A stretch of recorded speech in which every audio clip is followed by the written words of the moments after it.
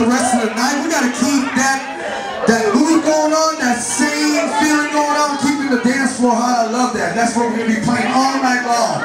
Now we have a special one coming up for you, which is the cake cutting ceremony.